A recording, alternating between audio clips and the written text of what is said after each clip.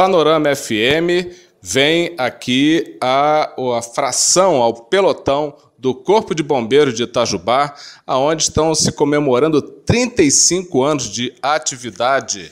E nessa ocasião, várias autoridades estão presentes e nós vamos conversar agora com o Major Giovanni, que é um dos comandantes aqui dessa do Corpo de Bombeiros na nossa região. Major Giovanni, é um grande prazer conversar com o senhor nessa solenidade, nessa data tão importante. Bom dia. Bom dia, bom dia aos ouvintes, aos, aos itajubenses e região. É, nós estamos comemorando hoje 35 anos da instalação do Corpo de Bombeiros na cidade de Itajubá. É uma das fações pioneiras aqui no sul de Minas e hoje nós temos a grata satisfação de estar no comando do 9 Batalhão de Varginha e poder estar, ter a cidade de Itajubá sob nosso comando.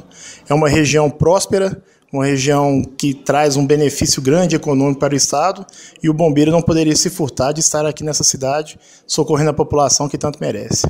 Pois é, Major, são 35 anos, né? É, é uma grande responsabilidade. Muitas vidas salvas, muito trabalho realizado em prol da sociedade.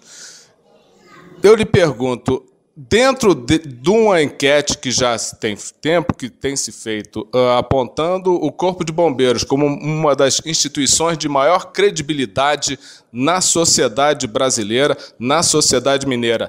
Isso aumenta a responsabilidade do Corpo de Bombeiros em relação às ações que corajosamente tem realizado ao longo desse tempo? Sim, nós temos a obrigação de cumprir com a população a nossa determinação, a nossa grade de ocorrências, salvando vidas, independente de quem seja, de classe, credo, cor, é, classe social, e temos a obrigação, além disso, de salvar bens alheios, até questão de animais, que às vezes as pessoas questionam que animais que colocam em risco a vida da população ou que estão em risco, nós temos essa obrigação. E a cada dia mais nós temos que honrar esse conceito que a população tem do Corpo de Bombeiros, da confiança que a população deposita no Corpo de Bombeiros. Então, a cada dia mais, nós procuramos especializar, melhorar os nossos equipamentos, viaturas, para que a gente consiga fazer um serviço de qualidade. Comandante, que mensagem o senhor pode deixar aqui nesse final de ano do, comando do Corpo de Bombeiros para a população de Itajubá, para a população da região, para os ouvintes da Panorama? Sim. Primeiramente, é desejar um Feliz Natal, um próximo 2016, não só à comunidade de Itajubense, como aos nossos comandados aqui. Trazer à população que o Corpo de Bombeiros está preparado para prestar o seu serviço e temos boas notícias aqui. Nós estamos tendo uma reestruturação no Corpo de Bombeiros a nível de Minas Gerais e essa reestruturação vai chegar em Itajubá.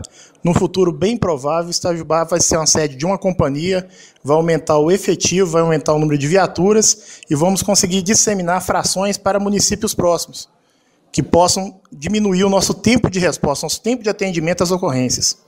Então, isso significa que a unidade aqui, o segundo pelotão de Itajubá, se é promovido, se eleva à hierarquia de é, companhia. Isso, ele vai ser comandado por um capitão, vai ter ali dois ou três tenentes sob o seu comando, aí iremos criar novas frações nos municípios próximos, para que a gente reduza esse tempo de resposta e aumente a qualidade ainda do serviço e da, da nossa resposta aos incidentes e acidentes da região.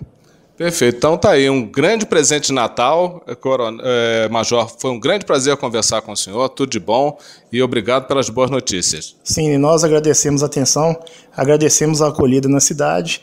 Nós esperamos que essa situação da companhia venha no futuro bem próximo. É uma reestruturação um pouco lenta por questão de equipamentos e efetivos, nós não temos assim, não temos da noite para o dia. Mas o comando da corporação já sensibilizou quanto a isso e deve ocorrer dentro aí, creio, de alguns anos para frente um pouquinho. Perfeito. Conversei aqui com o Major hum, Giovanni Barbosa de Moraes, que é o comandante do 9 Batalhão de Bombeiros Militar nessa festa do 35º aniversário do Pelotão de Bombeiros Militar sediado aqui em Itajubá.